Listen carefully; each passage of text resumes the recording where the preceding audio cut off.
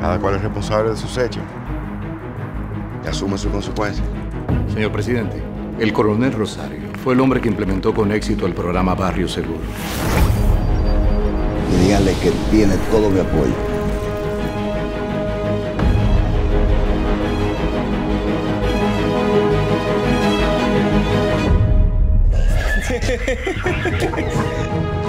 Cuéntate a dormir.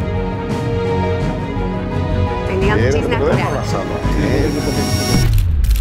Este es nuestro último año para gozar full, de verdad. La vecinita mía tiene un tango. Loco, ella dice diga, que le lleguemos donde una amiga, que ahí es que está el coro. Coronel Rosario, bienvenido. Estamos muy contentos de tenerlo aquí con nosotros. El famoso coronel Rosario. Por fin vino alguien con cojones aquí. Era necesario el uso de la fuerza, coronel. Se dice que fue un asesinato. Eso es lo que nosotros necesitamos de verdad, loco. Porque al final estamos saliendo con chamaquita, ¿eh? Y eso no está de nada.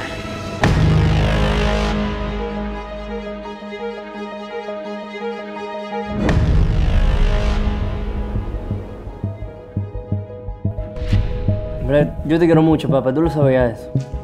¿Por qué es que tú no me coges la llamada? Pues loco, ¿te va a ya? ¡Voilà! Esto es lo mejor ¿Qué hay en el mundo?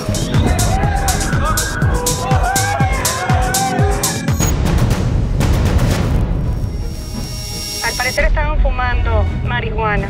¿Tú no sabes de quién tú eres hijo? Estamos hablando, señores, del hijo de un héroe nacional. Una figura ejemplar para nuestro país. Si este tribunal no lo sanciona, ¿cuál es el mensaje que le vamos a dar a nuestra sociedad? Nosotros estábamos fumando marihuana. Así que ponga la pena que nos corresponde.